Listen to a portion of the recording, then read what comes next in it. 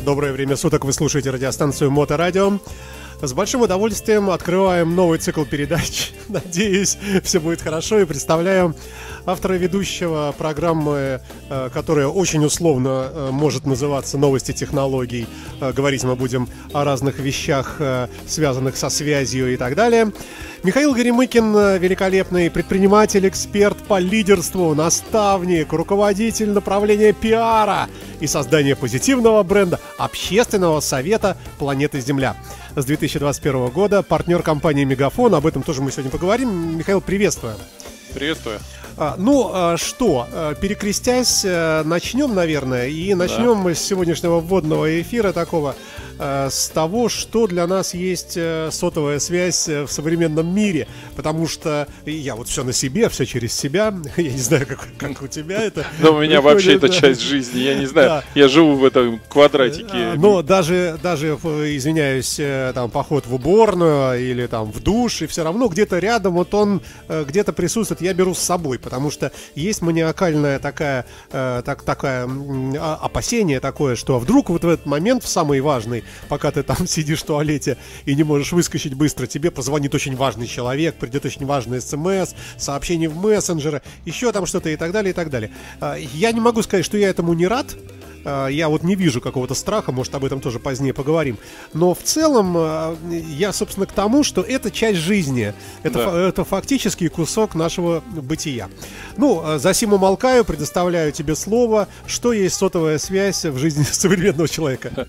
Ну, прежде всего, Александр, спасибо большое. Мне очень приятно оказаться здесь. Я много видел со стороны, слушал, слушал эту зажигательную музыку, замечательные эфиры и ваших экспертов. Ну и для себя, наверное, скажу, что для меня ваша радиостанция, ваш контент стал какой-то, ну, светлой частью жизни. И я помню, ура, ура. Да, я помню всю эту музыку из молодости, и такая радость послушать зажигательный хард-рок. Ну, я думаю, что у нас э, музыку. Да. старость еще все-таки на нас не напрыгнула, я так хочется думать. Я думаю, что мы еще пока к ней не повернулись спиной и убегаем. Итак, а, ну, прежде всего, уважаемые слушатели, зрители Моторадио, а, все, кто дослушает, досмотрит и а, внимательно будет относиться к нашей программе, ждут приятные сюрпризы и э, тарифы на связь от Моторадио. Это такая вот интересная затравочка, чтобы нас до конца досмотрели и дослушали. Досмотрят, Итак, я надеюсь. Да. А, с чего бы я бы хотел начать? Ну, наверное, я бы, как всегда, как русский человек, я бы хотел начать с вопроса, что такое сотовая связь. Саш, как ты думаешь, а кто изобрел сотовую связь?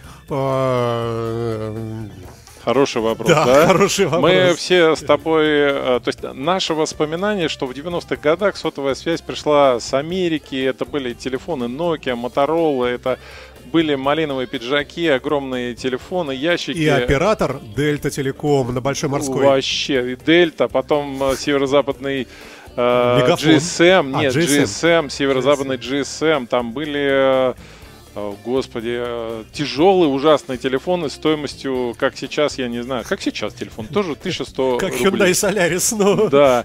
Итак, а почему я этот вопрос задал в самом начале? Потому что всегда любой продукт или любую тему хочется нырнуть в историческую справку. А я сейчас, наверное, тебя немножко удивлю, что сотовая эта связь была изобретена, создана и разработана в России.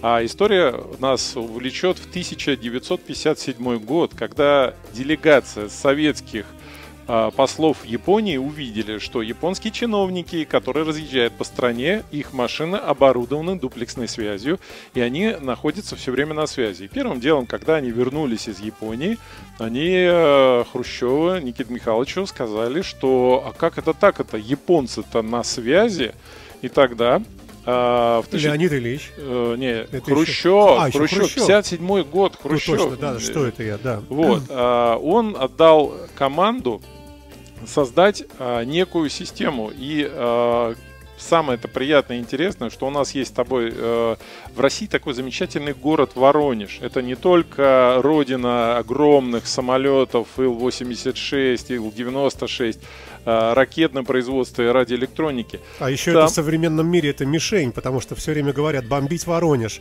Это еще а, ну, такая иносказательная. На, на самом деле там очень э, крупная заводская база элементная О, нет, я пошутил. Это нет, есть просто такая э, фигура речи, что вот опять вы бомбите Воронеж. Ну, это когда ругают власти. А, ну... В этом смысле. Ну да, Я извини, думаю, да. что я-то больше хотел сказать, что как раз в институте номер 122 а, была получена директива от Хрущева создать а, компактные системные э, средства связи для чиновников в движении.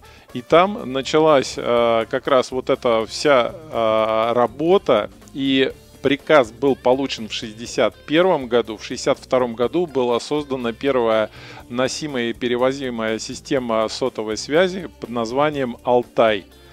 Точно. Да, да, да, да, да. И точно была такая. Да, и этот Алтай, когда была создана первая система, пришлось э, машину, в которой устанавливали вот эту систему сотовой связи, а, переделывать, потому что блок был огромный, реле были э, аналоговые, система занимала половину машины, и потребовалось около 4 месяцев, чтобы разнести и приемники, передатчики и системы голоса, подсоединить и раскидать ее по всей машине. В течение полугода система дорабатывалась, и уже к 1962 году а, году а, был выполнен образец, который помещался в багажнике машины, а система связи уже устанавливалась в кабине. Ну а дальше, как а, по накатанной, первая вышка, первая система связи была установлена в Москве. Э, Ее поставили на высотку, на котельничной набережной, и там были размещены первые антенны – Самое интересное, что покрытие одной сотки э, в 63 году было около 60 километров. И Алтай Но появился... Это значительно больше, чем сейчас соты, вот, которые... А, тогда была другая частота связи. И дальше у нас получилось, что Алтай а, был установлен в машинах и а, в кабинетах одновременно всех первых лиц страны. В дальнейшем он спускался вниз министерства, чиновники, партийного аппарата. И в 1964 году э, сотовая связь уже была установлена у директоров крупных предприятий. И тогда случился уникальный случай, после которого изменилась вообще история сотовой связи. И знаешь, что случилось? У директора, фамилию его не будем называть, э, водитель оставил машину с Алтаем и пошел покупать продукты в машину. Через три минуты, когда он вернулся, системы сотовой связи Алтай в машине не было. Ни одного проводочка. Все было снято зачастую. Это был 64 год. Как ты думаешь, что в 65 году появилось у американцев? Украли собаки. Честно, Значит, да? вот э, реальная ситуация в том, что в 64 году угнали у нас систему, в 65-м а, американцы стали предлагать на рынке системе портативной переносной связи Motorola. Поэтому кто у кого что-то... Нет, ну ты... мы так вот в эфире обвиняем. А насколько... Э, какая вообще информация? Это действительно э, было похищено какой-то то, разведкой? То, что похищено, да. было действительно то, что люди говорят, что... Ну, представь... Может, бомжи а... сняли и на Да, металлолом. бомжи демонтировали все до последнего проводка и сдали металлолом. Слушай, это 64 год, там расстрел... ну, расстрелов уже не было, но люди могли нести уголовную ответственность за такие поступки. Поэтому здесь мы не можем, история об этом умалчивается, но э, все терминологии, система распространения связи и э, вообще название сотовой связи для модуляции и покрытия э, пространства изобрел наш ученый Леонид Николаевич Моргунов. Как раз его была идея совмещения диапазонов, его была наработка, создающая покрытие станциями территорий, и чем больше станций, тем больше абонентов можно было обслуживать. Как раз оттуда и пошло слово сотовая связь. Но основная коренная идея это когда э, две сот, соты перекрывают друг друга, то есть наезжают одна на другую да, и создают некую и создают возможность или, да. пере, переехать, если ты перемещаешься, да, то перейти из одной другую. зоны покрытия в другую и оставаясь на связи при этом. То есть да. плавное переключение, вот это, да? Разница между, ну, да, я буду говорить очень упрощенно, как я это понимаю, что разница между дуплексной связью, когда есть один канал связи, который работает либо туда, либо обратно, сотовая связь позволяла а, на одной частоте передавать сразу связь в два направления. И дальше пошла вот эта история, потому что Uh, первичная сотовая связь или первая G или первое поколение. 1G да 1G она передавала на частоте там 165 килобайт в секунду. Это была абсолютно простая система для голосовой передачи и ну собственно заканчивая с историей связи я хочу сказать что к сожалению мы первыми запустили эту историю сотовой связи но мы как это сказать, обеспечили связью граждан а, только руководящей страной, а граждане, которые жили и а, работали в стране, не смогли получить, потому что, ну, в сравнении в ценах, цены 65 -го года, а, стационарный телефон, помнишь, у каждого в квартире да, был, да, он да. Сто, себестоимость проводки этого телефона для государства обходилась тысячу рублей. А за установку, тех рублей, да, тех да. рублей, это 65-66 год, а создание сотового телефона на Алтай, установка и подключение стоило 3000 рублей. Ну, сам понимаешь, Мгм. что только руководители крупных предприятий могли поставить на баланс такие аппараты. И э, возврат или возвращение сотовой связи в Россию э, произошло в 90-е годы, и они, эти новые аппараты пришли с Америки, и они были уже более доступные, простые, и мы помним 90-е, которые начинались с малиновых пиджаков и различных аппаратов сотовой связи, телефончики, висящие на штанах огромные кожаные бананы с антеннами, Да. раскладушки, которых э, хватало на полтора часа э, с подключениями. Вот, собственно, с 90-х годов уже, ну, вот, э, 30 сентября будет э, 30 лет с первого звонка в Санкт-Петербурге Northwest GSM. По-моему, у нас э, первая сотовая связь будет э, отмечаться Так это праздник. можно, да, это, так это праздник. Это, это повод собраться. Да, и позвонить друг другу. И позвонить друг другу. Не теряйте друзей, звоните друг другу. А вот эти вот э, ужасные э, рассказы о чипировании, о, э, как это сказать, об облучении, ну, я все про 5G, э, который Да что? превращает людей в рабов Microsoft. Да, и подключает прививку прямо к роутеру, да, Да-да. к Не, ну нам же об этом говорит сам Михалков. Мы А, должны ну, прислушиваться к таким людям, в общем Я хочу сказать, что вот мое скромное, наверное, мнение о том, что неграмотные люди всегда составляют большую часть человечества. И, к сожалению, если ты им скажешь, ребята, нужно учиться играть в шахматы и читать классику, они скажут, да ну, это все разводка, это никому не интересно. А ты, если им ты скажешь, что 5G а, ты станешь роботом, они скажут, да, и пойдут друг Другу я чувствую, да. они. Они говорят, я думаю, что мне так плохо-то? Да, чё я так- время в магазин иду да, вечером, да, почему я вот как-то по утрам себя плохо чувствую, наверное, 5G. А теперь а, я должен раскрыть тайну и, ну, наверное, сказать всем, ребята, а, первая коммерческая эксплуатация 5G работает давно уже. И на Невском, и в центральных районах Москвы э, первая компания, которая запустила скоростной интернет 5G, подключила и дает возможность, это Мегафон. В Санкт-Петербурге вы можете прийти на Невский, зайти в настройки телефона, включить 5G и посмотреть, какая будет у вас скорость закачки. Ну, понятно, что вам для Секунду, этого... это правда? Да, я мало тебе скажу. Я, Я сейчас буду тебя поеду. удивлять. Я сейчас буду тебя удивлять. Первое, а, тебе нужен вот такой вот какой-нибудь телефончик, у которого вы заходите в меню, включаете э, сотовая связь, настройки и включаете а, максимальную а, интеграцию, то есть там LTE, а, максимальное соединение. Подходите на Невский, включаете и смотрите, как у вас начинает а, Погоди, работать погоди. скорость. Вот Знаешь, а- iPhone, я захожу. Какой? Так, сотовый, Какой? да, это од- 11. 11. Оди- это флагман, А, 11 с- Pro. Слушай, я, у меня 12 а, Pro. А, ну, 11 Pro тоже. Давай мы сейчас систему настройки чуть-чуть попозже. Я сейчас Хорошо, хочу тебя хорошо, немножко да. насмешить. Да, да. То есть, а, первое, а, 5G работает давно, и 5G а, создано для так называемой... Ты слышал такую э, фразу «интернет вещей»?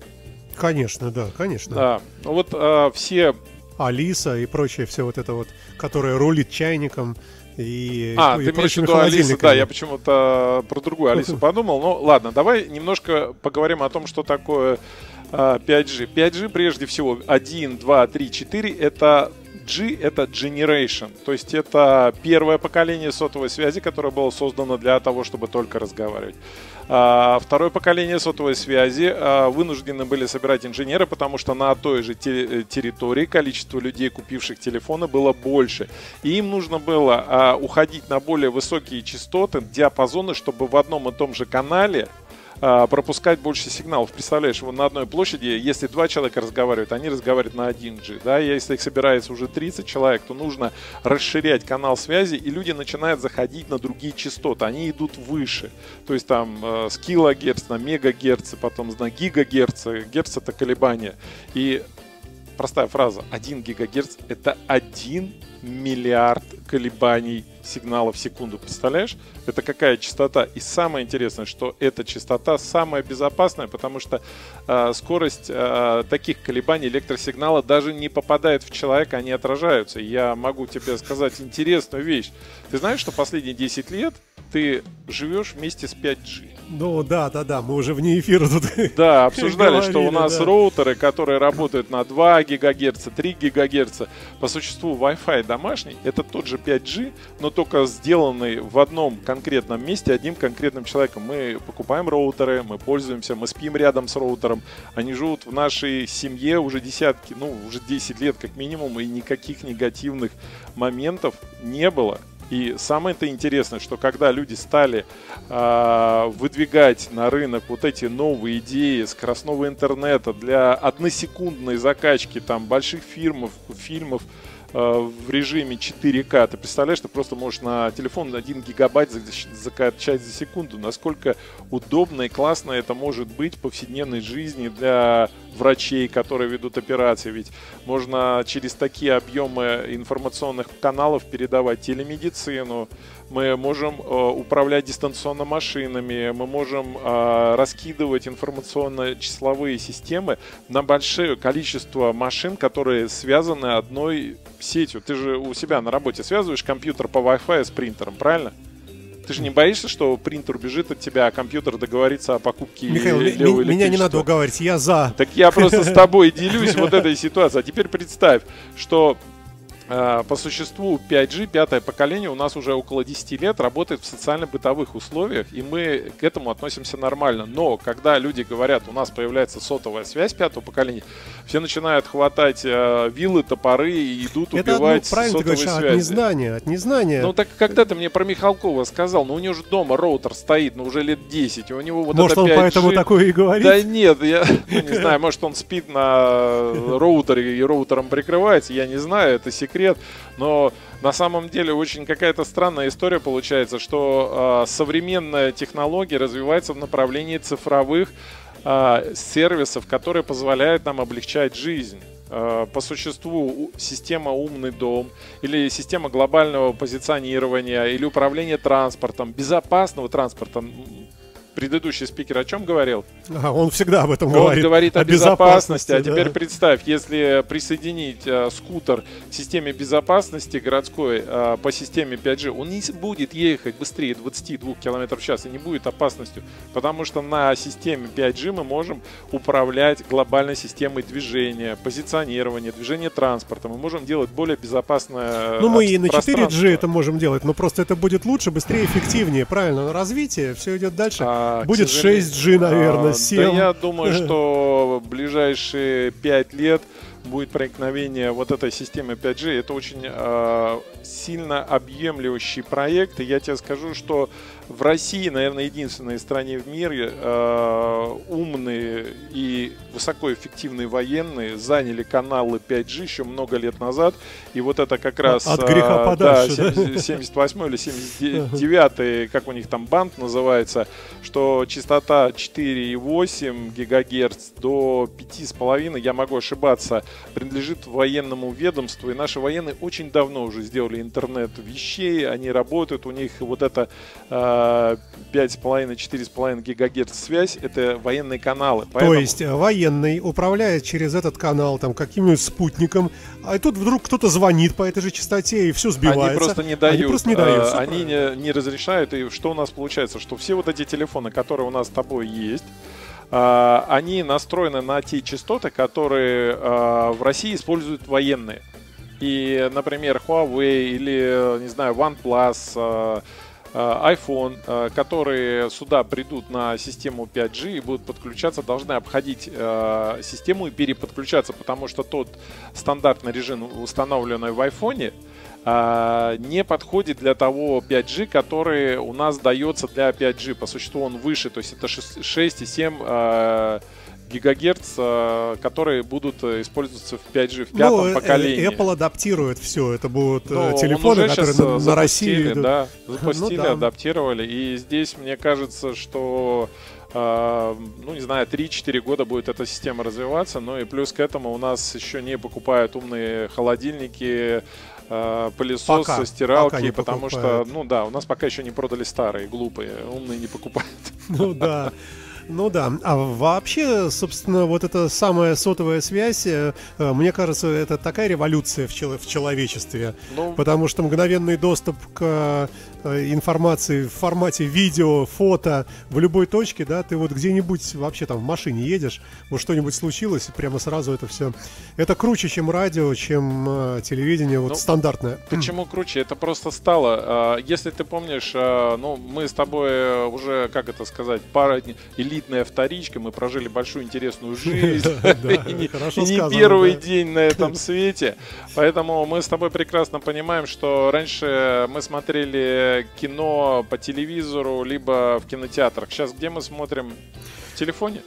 Ну да, ну или, или, или дома, интернет да. дома. IP-телевидение, да. да. А, угу. Я не знаю, сейчас идет угасание аналогового телевидения, переход в цифровое, и ты выбираешь уже тот контент, который тебе нравится, а не то, что тебе предлагают. Ты создаешь свою внутреннюю инфраструктуру интересов, вопросов. И самое, вот, самое главное, что ты сказал в самом начале, мы не только становимся зависимыми, мы болеем сотовой болезнью. Наша жизнь это 80, я не знаю, у кого-то там 70, у кого-то 30 процентов времени с телефоном в руках. Ты же видишь, как сейчас во многих странах запрещают детям вообще пользоваться телефонами, играми, потому что это разобщает, это создает серьезные социальные проблемы.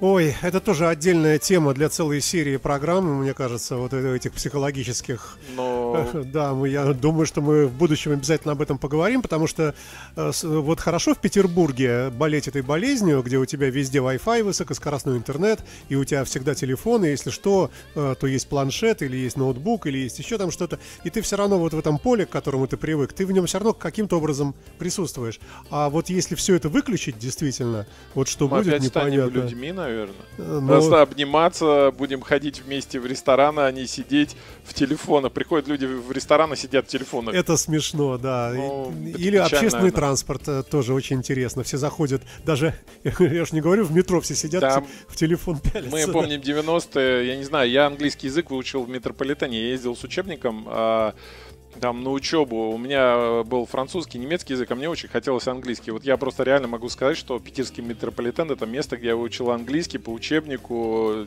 и потом его практиковал э, в телефонах уже, читая, смотря контент.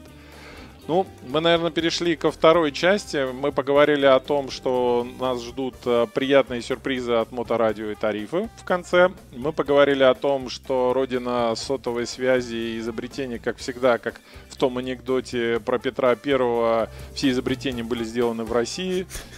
И рентген, и прочее. Да, ты помнишь, это неприличный анекдот. И сейчас я, наверное, хочу рассказать о том, что в нашей программе мы хотели рассказать о нашем партнере Мегафоне. Я сейчас немножко коротко хочу рассказать, что цель наших программ, наверное, подсказать нашим слушателям и людям, которые смотрят на это все. Ведь э, в последнее время сотовая связь превратилась не только главной вещью в жизни, ну, без телефона страшно выйти, а вдруг что случится. Мы э, возлагаем все психические, физиологические надежды и страхи на эту маленькую коробочку, и человек, э, у которого садится телефон, можно вычислить в толпе по глазам, потому что он находится реально в состоянии ужаса. панической атаки. Дайте зарядиться, да, или люди, которые подсоединяются к розеткам. Итак, Саш, давай э, немножко поговорим о нашем партнере, о Мегафоне, почему я выбрал или почему эта компания меня заинтересовала. Я честно хочу сказать, что э, мое направление деятельности это проект, это пиар, это стартапы. И зачастую мы начинаем всегда э, любой бизнес с тем, что мы коммуникатируем с людьми, правильно? Ну, мы с тобой говорим.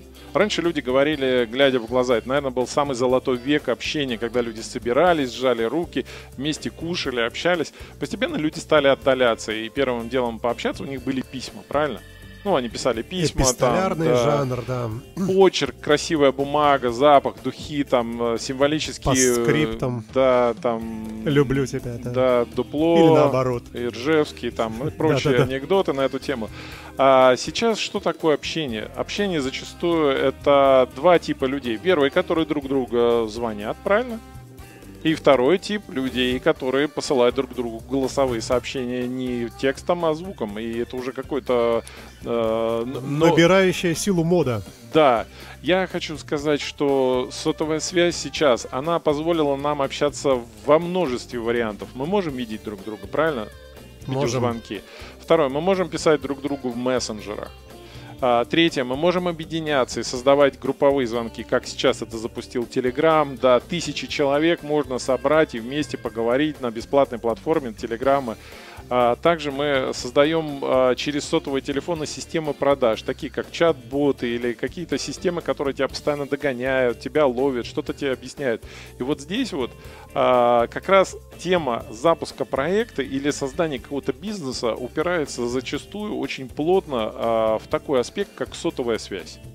Почему я об этом акцентирую? Да потому что сейчас э, операторы и виды связи, они у всех одинаковые зачастую они арендуют у друг друга Ну, вышки, стандарт, передают, да, да. один и тот же, да. Телефоны заточены, да. которые делаются, да. Да, и сейчас конкуренция уже уходит не в тарифах, у кого дешевле и лучше, а в комплексных. Знаешь, вот есть такое слово, которое недавно стало заходить, это некая информационная экосистема. Слышал про такое? Ну, конечно, да. Вообще, да, то есть э, сотовая связь превратилась в систему передачи всего данных, энергии, видео, цифр, э, общения. Но потенциальные вещи, когда будут виртуальные принтеры вот эти работать э, повсеместно уже. Ну, можно мы на... говорили, да, о пятом да. поколении, да, когда да, будет интернет вещей прямо в телефонах, и это все будет покрываться. Мне кажется... А, и, кстати, из последней тематики я же хотел тебе э, сказать, но не успел уложиться в прошлое. Ты знаешь, э, зачем делается поколение э, 5G? Еще одна вещь э, уникальная. Ну, не знаю. Ну, отлично, я тебя заинтриговал. Попробуй ответить. 5G — это система облачного сервиса вычислительных технологий. То есть ты можешь себе представить, вот сейчас мы с тобой покупаем вот этот телефон, у тебя там 11, у меня там 11 тоже, и э, мы, мы с тобой покупаем мощнейший процессор, мы покупаем вычислительную систему, и дальше у нас с тобой экран и батарейка, правильно? Да. А теперь представь, что в, в 5G у тебя будет просто экран и батарейка. А процессор будет висеть в той цифровой системе вычисления, и ты будешь по существу э, покупать подписку на новейшие телефоны, потому что весь сервис будет находиться в облаке и тебе выдавать. Тебе не нужно будет покупать этот безумно дорогой Bionic M1 или какие-то процессоры, вычислители, потому что у тебя будет антенна, модуль 5G, находящийся внутри этой коробочки, большущая батарейка и потрясающе качественный экран. Вот это следующий шаг в сотовой связи, когда э, интернет или новая система сам вот связи. этот микрокомпьютер, он будет не локально здесь, он будет а в он будет воздухе в, облаке. электронном виде. То, что по существу Да, да. и э, прогнозировалось для создания сверхскоростных систем вычисления, когда все вычислительные мощности будут создаваться по- на территории с помощью тех машин, которые там стоят. Ну, например, компьютер, который у тебя находится в студии, у него есть вычислительная мощность, да, принтер у него такая же вычислительная мощность, роутер, вычислительная мощность и прочее. Все вместе они высчитывают, и а, система 5G может объединять машины для создания таких, модное слово есть нейросети, или огромное количество машин, которые работают под одной программой и в состоянии вычислять и формировать какие-то решения. И тебе больше не нужен телефон. Ты просто носишь, образно говоря, э, э, получающий Грубо говоря, как, как, как провод из тебя идет прямо туда Да, то есть ты в большой чтоб- компьютер. Да, интегрирован, Да. матрица наступила, ты Нео, голубая таблетка, да? Да. Да, шучу. Ну, а почему? Красная. Хорошо. Итак, а, почему... а, Почему мегафон? Да, почему мегафон? Ну, это зеленая таблетка. А, на самом деле я хочу просто сказать несколько слов, чтобы люди знали. Инфраструктура у мегафона одна из крупнейших по России. Это Мне кажется, и в мире. Ну, он, я он не очень могу большой. сказать в мире. Мегафон это очень большая структура. Это банки, информационные компании, контент-компании. Я сейчас немножко этого Мгм. коснусь. Я просто сейчас хочу про физическое состояние рассказать, что это больше 193,3 тысяч базовых станций по России. Представляешь? Ну, 193 ну, около тысячи. 200 тысяч, да. Да, ну считать, да. фактически около 200, пока мы с тобой сидим, уже еще пару станций запустили. Дальше это 216 э, тысяч километров оптического кабеля, который передает всю эту информацию. И это 83 региона LTE. А, плюс э, некие системы космической связи, которые, если нету прямой связи, то у тебя через спутник, через хабы э, спутниковый идет вот этот сигнал. Поэтому, когда ты разговариваешь с человеком, который находится в другом городе, ты должен на секунду подумать, а где же летает мой голос? Ну, Он, же, он сейчас пролетает над спутником и переходит к человеку, который в другой части. Ну и э, прежде всего две зоны пилотные, я еще раз повторюсь, что это Невский и Москва около Кремля. Работает зоны 5G, на которых можно все это попробовать, потестить. Невский длинный, в каком месте там? А, Я тебе обязательно пришлю приглашение, и у сотрудников Мегафона мы можем с тобой вместе сделать с ними встречу, а я с ними общаюсь, и мы запускаем много а, цифровых сервисов. А, Да, я думаю, вместе с Это тобой интересно очень, а, да, да, да. сходим, потестим 5G, запустимся и поиграем в эти игрушки, посмотрим, как у тебя будет Скачиваться, да, да. скачивается гигабайтный фильм за одну секунду. Мне это тоже самому очень интересно. Итак, а, что предлагает Мегафон? Прежде всего, я работаю с физическими лицами и с юридическими. Здесь а, польза для физических лиц, ну, это стандартный Мегафон же э, Родина Санкт-Петербурга. Это потом он пошел в Москву, а МТС пришел в Питер. А, Но при- мы были первыми. Сначала мы туда пошли. А потом уже МТС Да. оттуда пришел. Ну, что сказать, э, цифровые технологии всегда развиваются вместе с деньгами. И э, я сейчас хочу сказать э, очень интересные вещи. Это то, что э, телефоны и связь у всех одинаковая, а вот эта экосистема немножко разная. Мне вот лично зашло, я для бизнеса использую мегафон. То есть я сначала стал пользователем мегафона, а потом я уже стал партнером и стал продавать эти все подключения и э, работать. Мне очень понравилась система виртуальных ЭТС, которые предлагает мегафон. У них очень выгодные тарифы, но я сейчас это не хочу продавать, то, что я продаю, я просто сам пользуюсь. У меня все проекты стоят на одной ситуации. Мои сотрудники рассыпаны по городу и находятся в своих кабинетах э, в различных адресах. Но у меня есть один входящий номер, на который заходит звоночек, и по этому входящему номеру мегафон его перекидывает либо на свободного сотрудника, либо на сотрудника, который меньше разговаривает. Либо на за- заданная Да, какая-то на схема. заданная да. схема, да, ты можешь это все раскидывать, как тебе удобно. То есть ты сидишь дома, занимаешься своими делами, у тебя входит звонок, ты там генеральный директор или джар, или менеджер, или э, человек, он тебе вошел, ты поговорил, повесил трубку и все, и все, а у всех ощущение, что люди находятся в офисе в прямом доступе, и это очень удивительная вещь, которая позволяет э, сохранять э, ресурсы для бизнеса.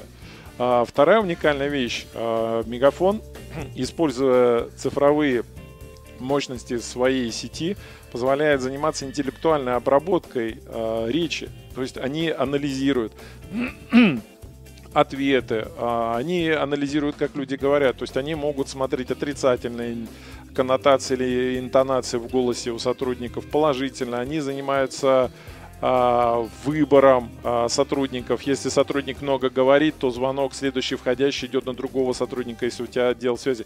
То есть часть вещей, которая улучшает жизнь, может быть доверена теперь виртуальным машинам, таким виртуальным ЭТС, э, виртуальным анализаторам, а, виртуальным системам продаж, э, которые тоже по существу являются неотъемлемой частью бизнеса.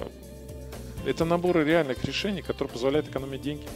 Ну, среди наших слушателей много э, людей состоятельных и руководителей. Да, я думаю, что много подключенных к, к, к мегафону, но они не знают о том, что мегафон теперь позволяет увеличивать продажи, системной интеграции в рекламу, Мегафон может предоставить анализ, э, как работают ваши сотрудники с входящими звонками и рассказать и дать оценку эффективности. Они могут а, создавать актуальные каналы связи, коммуникации. То есть, э, То есть вот этот вот, э, вот этот некий старший брат мозг, он понимает, он, он тебе дает отчет, например, что твой сотрудник номер три говорил агрессивно, злобно, отрывисто и нехорошо с клиентами.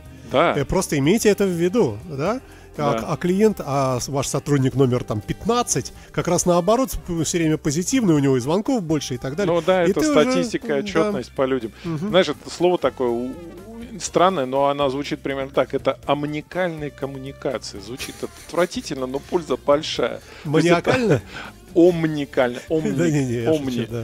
То есть это автоматизация рабочего места оператора контактного центра. И там, пожалуйста, вот э, то, что я тебе сказал. Одновременный прием неограниченного количества звонков. Без, кстати, дают бесплатный номер 8800, тоже очень приятно. Это создает, э, как-то в Питере говорят, понты да. дороже денег, да. Ну, онлайн-система контроля за коммуникациями, омникальное обслуживание, облачная инфраструктура, как это все модно говорят. А, надеюсь, нас слушатели поняли, да, что это все в пользу, и это помогает зарабатывать деньги. Э, ну, у нас время потихонечку нас начинает поджимать, да. у нас буквально минут пять осталось. Э, я бы хотел спросить, а сейчас э, те номера, которые выдает Мегафон, это уже вот, вот совсем не выбрать красивый старый номер? Все время мучает меня чтобы где-то там ну, э, твой номер записывают люди и видят, о, ничего себе, это абонент с 30-летним стажем, с 20. А, честно сказать, а, система выбора красивых и дорогих номеров, она есть. А, у разных операторов она стоит разных денег. Я тебе скажу честно, я вот, например, тоже себе купил недавно красивый номер, там 3 девятки, 21, 4 восьмерки, 4 но я купил его не у Мегафона. Я купил у другого оператора, не буду говорить у какого, ну, кто знает, что такое три девятки, знает. Мы как раз с тобой можем подойти к тому, что выбор есть, но не всегда. Например, хороший виртуальный тест лучше купить у Мегафона и использовать их цифровую систему, и банкинг, и интернет. Но вот по поводу красивых номеров я не скажу, что Мегафон есть. Да просто проходила новость тут недавно.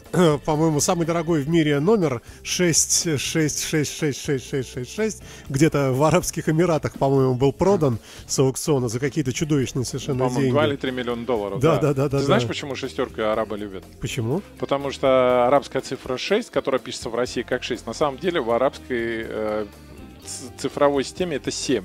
Ну, ты же знаешь нашего общего друга Олега Капкаева, да, да, все да. номера три семерки по-арабски или три шестерки по-русски. Поэтому тут, это, да, тут это там игра, игра цифр. да. Ну, итак, а, чтобы подойти, наверное, к концу, то, что я и говорил, ребят, а, глупо начинать хорошее с того, чтобы что-то не подарить приятное. Заходите на сайт э, Моторадио, мы оставим там информацию о том, что Мегафон специально для Моторадио создал несколько тарифов, которые позволят вам э, подключить бесплатный интернет, э, за какие-то очень символические деньги для вашего домашнего провайдера избавиться за 550 рублей от всех проводов и включить модем с возможностью раздачи на несколько устройств. Мы можем э, также предложить э, тариф моторадио для путешественников, которые за 490 рублей будут замечательно иметь безлимитный интернет да, да, да, и да. до 10 часов э, разговоров по всей большой сети Мегафон. Это исключительные подарки от Моторадио, ну и от нас. И мы, наверное, будем готовить, если мы получим хороший отклик и заявки, э, оценку других операторов. Мы хотим поговорить о плюсах э, и возможностях МТС. Хотим поговорить об этих замечательных и ярких Теле2, Билайн полосатый и, и другие. Йота. Да, обязательно. И даже Тинькова мы сделаем обзор и также расскажем о сильных и слабых сторонах. Мегафон – это выгодная инфраструктурная система для ведения бизнеса. Это очень хорошая связь, это хорошие ценные подарки, но не такие дешевые, качественные возможности по выбору, выбору номера. Может быть, другие операторы подарят тебе замечательный номер, если они услышат этот подкаст и захотят в нашей интересной беседе участвовать. Все, время наше, к сожалению, истекло. А, я напоминаю вам, друзья мои, что у нас есть возможность теперь э, у радиостанции Моторадио предлагать действительно тарифы, которые условно можно назвать э, э, сотовая связь от Моторадио. Мы еще придумаем, как это красиво обыграть. Канал коммуникации или свя- связь от Моторадио. Оставайтесь всегда на связи вместе с Моторадио. Михаил Горемыкин, предприниматель, эксперт по лидерству, наставник, руководитель направления пиар и так далее. Это такое большое перечисление. Просто замечательный человек Спасибо, и умница, Саша. который будет, я надеюсь, и в будущем рассказывать нам всякое интересное интересные. Спасибо, счастливо. До встречи. До свидания.